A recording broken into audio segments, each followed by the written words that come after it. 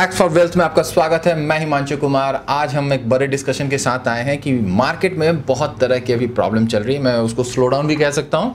और अगर आज अब एक लाख पचास हज़ार रुपये, अभी हम एक अमाउंट की बात करने वाले हैं कि अगर आज आप एक लाख पचास हज़ार रुपये अपने पॉकेट में, यानी अपने बैंक में लेके बैठे हैं तो आपके पास इन्वेस्टमेंट के सेफर ऑप्शन आज हम बात कर रहे हैं केवल सेफ़ साइड पे कि कैसे आप अपने पैसे को इन्वेस्ट करके एक अच्छा रिटर्न तो पा ही सकते हैं।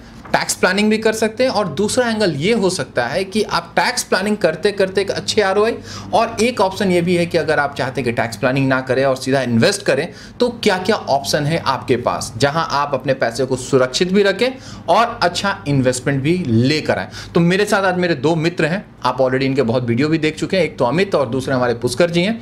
तो आज हम दोनों से बात करेंगे और समझने की कोशिश करेंगे कि कौन कौन से ऐसे प्रोडक्ट हैं जहाँ पे हमें पैसे लगाने चाहिए। साथ के साथ ये भी ध्यान रखेंगे कि उसके टैक्स के इम्पैक्ट क्या पड़ने वाला है कि जब आप इन्वेस्ट करके जब बाहर आएँगे। तो हम ये सारी चीज़ें बात करेंगे। तो सबसे पहले अमित से हम बात करते हैं।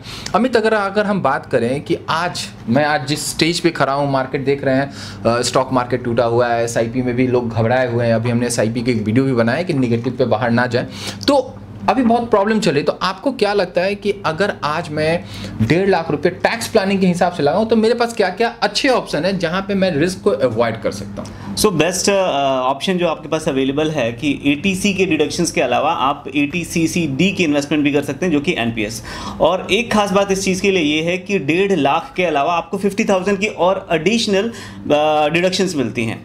दो फ़ायदे हैं एनपीएस में इन्वेस्ट करने के एक जो आप करंट में अवेल कर सकते हैं और एक जो फ्यूचर में करंट में आप ये अवेल कर सकते हैं कि अगर आपकी टैक्स लाइबिलिटी सपोज़ करते हैं थर्टी परसेंट के ब्रैकेट में फॉल करती है हम्म। और ये फिफ्टी थाउज़ेंड आपने एनपीएस में इन्वेस्ट कर दिया तो आपको सीधे पचास हज़ार पे थर्टी परसेंट यानी फिफ्टीन थाउज़ेंड की नेट टैक्स की सेविंग हो गई। इसको मैं इनकम भी कह सकता हूँ कि बिल्कुल, आप एक बिल्कुल। इनकम है। तो ये तो हो गया। इसके अलावा हमारे पास क्या क्या चॉइस है जहाँ पे हमें जाना चाहिए? हमारे पास चॉइसेस है। यूलिप है हमारे पास पीपीएफ है एलआईसी है ई e है और इसके अलावा हम फिक्स डिपॉजिट्स कर सकते हैं और भी बहुत सारे ऑप्शन हैं। तो आज के डेट में अगर हम बात करें तो जो सेफर साइड की अगर हम देखें कि आज जो मार्केट जिस हिसाब से नीचे जा रहा है उसमें मुझे यूलिप की अगर बात करें तो कहीं ना कहीं इक्विटी लिंक है। पुष्कर इस पर मैं एक चीज़ पूछूँगा कि यूलिप का जो मार्केट है यूलिप कहीं ना कहीं मार्केट से लिंक होता है yeah. जैसा अमित ने बताया। Yeah. तो क्या लगता है कि यूलिप में आज की डेट में पैसा लगाना सही है? इस सिनारियो में अगर मेरे से आ, मैं एक ही चीज़ कहना चाहूँगा कि यूनिक लिंक इंश्योरेंस प्लान जिसको आप यूलिप कहते हैं यूलिप का भी एक जो टाइम ड्यूरेशन होता है वो बहुत इंपॉर्टेंट होता है। अगर हम शॉर्ट टर्म में यूलिप करने की सोच रहे हैं तो मुझे लगता है कि बेनिफिट भी नहीं बेनिफिट नहीं है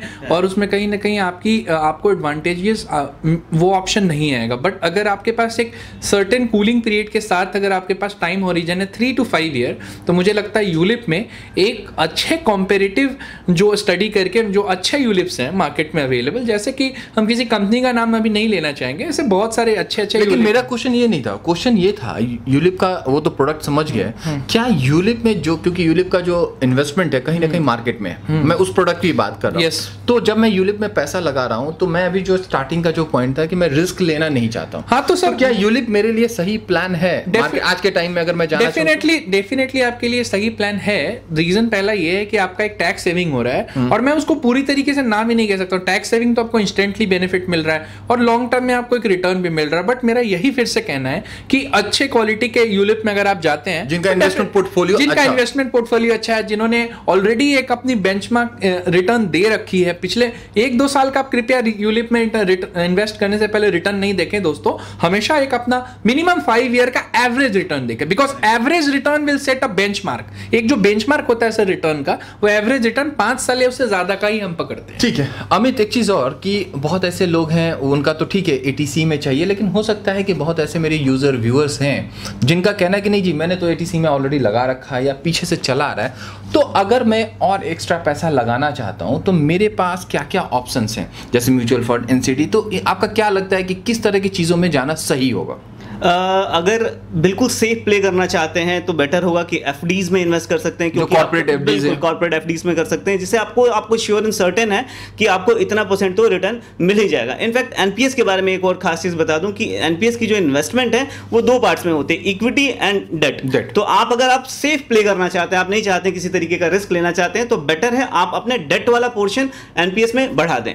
आपको दो ऑप्शन मिलेंगे जब आप रिटायर होने की सिक्सटी ईयर्स की एज पे जाएँगे तो आपको एक लमसम अमाउंट अमाउंट मिल जाएगा प्लस आप अपना रिटायरमेंट भी प्लान कर सकते हैं कि आपको एन्यूटी में हर महीने आपको एक पेंशन की अमाउंट तो एक चीज़ अगर आप समझें कि अगर एनपीएस को भी देखा जाए तो एनपीएस को बहुत ढंग से क्राफ्ट किया गया है जिसमें आपके रिस्क को भी डाइवर्सिफाई किया गया है और विदाउट रिस्क के प्रोडक्ट में भी डाला गया तो इसमें मैं एक चीज़ और ऐड करूँ कि आज की डेट में जो एनसीडीज हैं उनमें काफ़ी अच्छे पुष्कर मैं इस पे आऊँगा कि जो एनसीडीज हैं उसमें एक तो कहीं ना कहीं रेटिंग का चक्कर तो है ही। अगर आप एनसीडी में पैसा लगाते हैं वो आपको कॉर्पोरेट एफडी से अच्छे रिटर्न देते हैं। लेकिन एक चीज़ है कि इन सीरीज़ में कहीं ना कहीं रिस्क है। आई की बात करें, ठीक है गवर्नमेंट ने उसको बहुत कोशिश किया है रिवाइव करने की, लेकिन कहीं ना कहीं रिस्क तो इन्वॉल्व है। तो आपको क्या लगता है कि एनसीडी एक रिस्क मैं अभी इसमें इंटरेस्ट की बात नहीं कर रहा हूँ। इसमें रिस्क है और रिस्क है तो कितना है? देखिए सर एनसीडीज का जहाँ तक सवाल रहा रिस्क तो डेफिनेटली रहा है। जैसे कि अभी भी डीएचएफएल कंपनी हो गई जिनके एनसीडीओ की पेमेंट्स में काफ़ी डिफ़ॉल्ट या डिले हुआ है। और जैसे आईएलएफएस इसका आपने एग्जांपल ऑलरेडी दिया है और भी दो तीन कंपनियों के एनसीडी के पेमेंट्स में काफ़ी डिले हुई है। तो मेरा यही कहना है कि इसके लिए गवर्नमेंट ने भी ऑलरेडी काम किया है। SEBI has come up with a new circular SEBI एक नए सर्कुलर के साथ आई है जिसमें से सेबी ने जो रेटिंग एजेंसी है जैसे इकरा हो गई क्रिसिल उनको भी काफी- उनको भी काफ़ी सम्मन्स दिए हैं और उनको भी काफ़ी एक स्ट्रिक्ट रेटिंग पॉलिसी के लिए कहा है। और रेटिंग पॉलिसी ऐसा नहीं है कि कोई भी कंपनी कभी भी पहले पब्लिश कर देती थी अब उसके लिए भी एक हॉरिजेंटल और टाइम फ्रेम दिया है। तो कहीं ना कहीं सर मुझे लगता है कि एनसीडीज डेफिनेटली उसके लिए अच्छा है जो प्रोडक्ट को समझता है और हमेशा एनसीडीज में भी टॉप रेटेड एनसीडीज के साथ ट्रिपल रेटेड के साथ जाए। ऐसे बहुत सारे ब्लू चिप कंपनियाँ जैसे एच है। मैं नाम नहीं लेना चाहता था बट फिर भी ले रहा हूँ। एक एच हो गई पी हाउसिंग हो गई। इनके जो एनसीडीज हैं still they are very safe and you can definitely go with लेकिन इसमें मैं एक चीज़ ऐड कर दूँ कि जो हमारे सीनियर सिटीजन हो सकता है वो yes. भी देख रहे हैं उनके लिए भी एन अच्छे हैं लेकिन उनके लिए अच्छे नहीं है जिनके सीनियर सिटीजन जिनके पास जो कॉर्पस था उसी पे वो डिपेंडेंट हो। उनके लिए कहीं ना कहीं एनसीडी एक रिस्की है। हाँ। तो उनको मैं कहूँगा कि आप एनसीडी लेते समय अगर नो डाउट कि आपको लगभग दो से ढाई परसेंट का इंटरेस्ट का फ़र्क आता है जो कि आपके अगर एक करोड़ का कॉर्पस है तो बहुत बड़ा फ़र्क है। लेकिन अगर आप उसमें जाते हैं तो एक चीज़ ज़रूर ध्यान रखें कि रेटिंग को बहुत अच्छे से समझ के ही डालें। अदरवाइज़ आप किसी के कहने और अपने लोकल जो आपके जो एजेंट घूमते रहते हैं कृपया उनसे सावधान रहें वो सबसे खतरनाक होते हैं जो कि हमेशा हम इस पॉइंट को रेज करते हैं कहीं ना कहीं। अच्छा एक चीज़ और अमित आपसे एक और क्वेश्चन कि जो म्यूचुअल फंड है क्या म्यूचुअल फंड भी एक अच्छा ऑप्शन है इन्वेस्टमेंट के लिए मेरे लिए? बहुत अच्छा ऑप्शन है। म्यूचुअल फंड्स की सबसे खास बात यह है कि आपका रिस्क डाइवर्सिफाई हो जाता है। आप अलग अलग सेक्टर्स में इन्वेस्ट कर सकते हैं। तो सपोज़ करते हैं किसी एक सेक्टर स्लो डाउन के इस जमाने में अगर नीचे जा रहा है तो पॉसिबिलिटी पूरी है कि दूसरा सेक्टर हमारा ग्रो कर सकता है। तो लॉन्ग टर्म में अगर बात करें तो कहीं ना कहीं इक्वलाइज हुई इक्वलाइज हो जाता है। तो म्यूचुअल फंड तो one of the best options कहे जा सकते हैं। और साथ के साथ एक लाख तक अगर आप रिडीम करते हैं तो कोई टैक्स पे नहीं करना। अगर उसके ऊपर करते हैं तो 10 परसेंट का लॉन्ग टर्म में है जो कि विदाउट इंडेक्सेशन है। अदरवाइज़ शॉर्ट टर्म और लॉन्ग टर्म की अलग अलग कैटेगरी हम उस पर भी बात करेंगे। अब थोड़ा सा हम रिस्क की पोर्टफोलियो पे पुष्कर आने की कोशिश करेंगे ये तो हमारा एक सिंपल था। अगर मैं रिस्क लेने के लिए मेरी एज उस लेवल पे है और मेरे पॉकेट में रिस्क लेने की कैपेसिटी है रिस्क का मैं मैं बात इसलिए कर रहा हूँ मेरे हिसाब से अभी जो टाइमिंग है इंट्री का, जो अगर कोई शेयर मार्केट और नहीं जाता है, क्या ये सही समय है इंटर करने के लिए? अगर है तो मुझे कौन कौन से पॉइंट पे ध्यान रखना चाहिए? और तीसरी चीज़ एक और ऐड कर दूँ इंटरडेट से मुझे दूर रहना चाहिए या नहीं रहना चाहिए? सर, देखिए, पहली point share market is like all time season investment कभी भी ना जो सीजनड इन्वेस्टर होते हैं, जिसको हम परिपक्व इन्वेस्टर कहते हैं, वो कभी भी मार्केट ऊपर है या नीचे देख के इन्वेस्ट नहीं करता है। वो हमेशा एक टाइम का वेट करता है। टाइम मतलब जब मार्केट डेफिनेटली आप कब पैसा कमाते हैं कोई भी इन्वेस्टर कब पैसा कमाता है? It is always buy low and sell high जिसको कहते हैं नीचे खरीदिए और ऊपर बेचिए। तो नीचे तब खरीदते हैं ना जब शेयर का प्राइस डाउन लेकिन अ, एक चीज़ रोकूं पुष्कर दिक्कत यह है कि जो मेरा यूज़र है उसको तो इतना ज्ञान है ही नहीं। वो तो अ, मतलब अ, जैसे डेफिनेटली तो तो मैं मैं उनके हिसाब से पूछना और समझने जो आपने कहा मैं समझ गया। लेकिन जो मेरा यूज़र जिसको शेयर मार्केट का एस नहीं पता है मैं उसको अगर एडवाइस दूँ कि क्या ये सही समय है? मैं लेमन लैंग्वेज समझ मैं टेक्निकल चीज़ें ना बिल्कुल मेरे हिसाब से सही समय है अगर आपके पास एक अच्छी अवधि है जो कि 18 महीने से कम से कम 36 महीने है मतलब डेढ़ साल से तीन साल के अगर आपके पास टाइम हॉरिजन है इन्वेस्टमेंट का तो हम्म। मुझे लगता है आपके पास अगर हंड्रेड रुपीज़ है डालने के लिए तो अभी आप उसमें फोर्टी रुपीज़ डेफिनेटली इन्वेस्ट कर सकते तो हैं एक चीज़ बताइए अगर मैं एक लाख रुपए या एक लाख रुपए भी लेके बैठा हूँ और हम्म। सोच रहा हूँ कि शेयर मार्केट का टाइमिंग अच्छा है मेरे हिसाब से कि अगर आप लॉन्ग टर्म के हम्म, लिए देखते हैं तो इट्स अ गुड टाइम। एक बार में ना इंटर शेयर करें। हाँ। तो अगर मैं उस तरह की चीज़ों के लिए सोचता हूँ तो मुझे क्या क्या पॉइंट पहली चीज़ आप हमेशा वेट करें आप हमेशा वेट करें। पहले आप अपना एक फंड जो से आपने एक लाख का एग्जांपल लिया है तो इसको हम लोग टू पार्ट्स में डिवाइड करते हैं जिसको हम लोग एटी ट्वेंटी रूल भी कहते हैं जो कि पूरे वर्ल्ड वाइड एक एक्सेप्टेड मैनेजमेंट प्रिंसिपल है। फॉर्मूला है तो उसमें 80 80 परसेंट जो हमारा फंड होगा वो बिल्कुल एक ब्लू चिप एक लार्ज कैप और एक बिल्कुल से अच्छी सी कंपनी में जाएगा जो कि रेप्यूटेड कंपनी है। SBI जो और हाँ, नहीं उस उसकी कंपनीज़ का मैं एग्जांपल दूँगा और 20 परसेंट पे मैं डेफिनेटली थोड़ा सा रिस्क ज़्यादा लूँगा बिकॉज़ अल्टीमेटली मुझे अल्फ़ा जनरेट करना है। अल्फ़ा मतलब मार्केट से एफडी से जो ज़्यादा रिटर्न होगा जितना। सपोज़ एफ़ डी दे रही है तो मैंने अगर शेयर मार्केट में मैं क्यों रिस्क ले रहा हूँ? बिकॉज़ मुझे ज़्यादा रिटर्न चाहिए। तो अगर मेरा शेयर मार्केट का पोर्टफोलियो पंद्रह रिटर्न देता है तो नौ पंद्रह माइनस नौ विच इज़ छः परसेंट इज़ द अल्फ़ा तो हमेशा इन्वेस्टमेंट हम शेयर मार्केट में अल्फ़ा के लिए करते हैं। तो मुझे लगता है एटी परसेंट जो फंड है वो आज के टाइम अभी भी मिड कैप ऑब्लिक लार्ज कैप में डालना चाहिए। जो ट्वेंटी परसेंट फंड है उसको हम डालेंगे बिल्कुल स्मॉल कैप फंड में। अब स्मॉल कैप फंड्स में ऐसे बहुत सारे फंड्स हैं जो कि अपने बॉटम पे हैं। okay. अब आप पूछोगे मैं कौन से दिन बाई करूँ? तो उसका दिन वही होगा दोस्तों जिस दिन मार्केट में आपको पैनिक सुनाई दे। जैसे कि पिछले हफ़्ते हुआ था। जिस दिन आपको मार्केट में जिस दिन आपको लोकल न्यूज़ चैनल पे और डोमेस्टिक न्यूज़पेपर में भी नॉन बिज़नेस न्यूज़पेपर में भी आने लगे फ्रंट पेज पे कि स्टॉक मार्केट गिर रहा है that is a time to invest because Warren Buffett का कहना है buy when everyone is selling and sell when everyone is buying तो वही वाली बात अब जो आम आदमी इस वीडियो को सर फ़र्स्ट टाइम देख रहा है, उसको हम लोग यही कहना चाहेंगे, आपको मार्केट में डरने की ज़रूरत कभी नहीं होती है। बट एक ही चीज़ करना चाहूँगा, बिना नॉलेज के, जो हम बार बार अपने इस प्लेटफॉर्म से सर कहना चाह रहे हैं, बिना नॉलेज के आप इन्वेस्ट प्लीज़ मत कीजिए। अगर मैं एक चीज़ ऐड कर दूँ एक बुक है richest person of the baby Babylon पता नहीं आपने वो नाम सुना है कि नहीं? उसमें ये एक थ्योरी है कि जो राइटर था उसने एक आदमी की कहानी लिखी है। मैं शॉर्ट में इस जो बात है इसको मैं इसलिए उससे रिलेट रिलेट करने की कोशिश कर रहा हूँ। नॉलेज क्यों इन्फॉर्मेशन बहुत ज़रूरी है। वो आदमी क्या करता है कि वो एक ब्रिक मेकर को अपना जो पहला गोल्ड कमाया था ना उसने एक ब्रिक मेकर को दिया प्रीसियस स्टोन खरीदने के लिए। और वो जब ब्रिक मेकर गया और प्रीसियस स्टोन खरीद के लाया वो कांच लेके आया। तो हुआ क्या? उसको बाद में जो रियलाइज़ हो जो कि आप बुक आप जाके पढ़ें वो बहुत one of the best book है दुनिया मानी जाती है कि आप जब पैसा दे रहे हैं तो हमेशा एक्सपीरियंस आदमी को दें। ब्रिक मेकर को वो स्टोन खरीदने के पते नहीं थे। उसकी वजह से जब वो खरीदने के लिए गया तो कांच खरीद के आ गया। तो जो जो पुष्कर कह रहे हैं उसके कहने का मतलब यही है कि ज्ञान भरा पड़ा है। मैं उस ज्ञान के लिए हम कोई कमेंट नहीं कर रहे हैं लेकिन आप सावधानी से सेलेक्ट करें। अब उस पर मैं कोई कमेंट नहीं करूँगा। अब मैं आता हूँ जरा अमित के पास कि जो पुष्कर कह रहे हैं कि स्टॉक मार्केट के बारे में।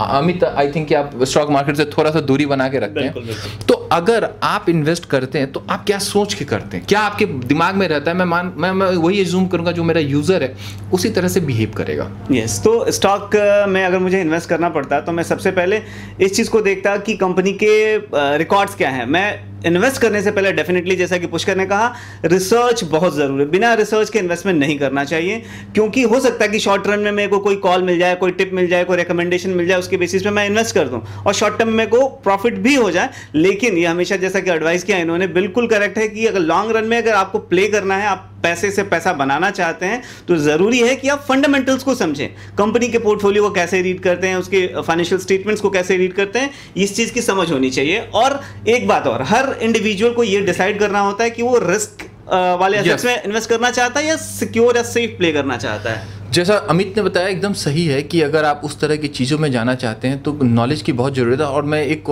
एक चीज़ में जो अमित ने कहा मैं ऐड करूँगा कि पुष्कर एक हमें अपने यूज़र के लिए एक ऐसे वीडियो बनाने की चाहिए कि अगर आप स्टॉक पिक करते हैं तो आपको फंडामेंटली कौन कौन से पॉइंट ध्यान रखने इसी चाहिए। बात को मैं अभी और कहना चाहूँगा। हम लोग स्टॉक मार्केट के ऊपर जो दो एनालिसिस होती है ना फंडामेंटल और टेक्निकल उसकी पूरी सीरीज़ फ्री ऑफ़ कॉस्ट अपने दर्शकों के लिए लेके आ रहे हैं। और उसमें टोटल एजुकेशन प्रोग्राम इसी प्लेटफॉर्म टैक्स फॉर वेल्थ के थ्रू प्रोवाइड होने वाला है। तो ज़रूर आप लोग इस चैनल को सब्सक्रिप्शन तो कर ही ले क्योंकि फ्री ऑफ़ कॉस्ट आपको ज्ञान मिलने वाला है। क्योंकि हम लोग हमेशा बता और ए, एक चीज़ मैं बता जो हम फ्री ज्ञान दे रहे हैं ना वो कहने के लिए फ्री है। हाँ। उसके आगे बहुत मेहनत है और आ, ये ज्ञान आप पैसा दे के ही ले सकते आपको बताना चाहूँगा एक एवरेज बंदा जो आज के टाइम स्टॉक मार्केट का आप कहीं पे भी ऑनलाइन या ऑफलाइन कोई भी कोर्स करते हैं मैं नाम नहीं लेना चाहूँगा ऐसे ऐसे लोग जो कि कोर्स करवा रहे हैं मिनिमम जो चार्ज कर रहे हैं रिकॉर्डेड सेशंस का वो बीस हज़ार रुपए ऑनवर्ड्स होता है और चलिए इस पे हम लोग हम लोग बात बात करेंगे।